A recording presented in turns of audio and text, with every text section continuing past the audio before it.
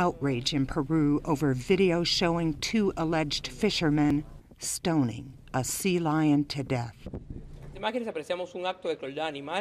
In the images, we see an act of cruelty toward animals against a sea lion that is resting. In this case, the alleged fishermen attacked it with rocks. It's a situation that's recurring along the Peruvian coast because of the competition between sea lions and fishermen. That's Dr. Carlos Yaipen Llanos, the director of ORCA, an organization that works to protect marine life.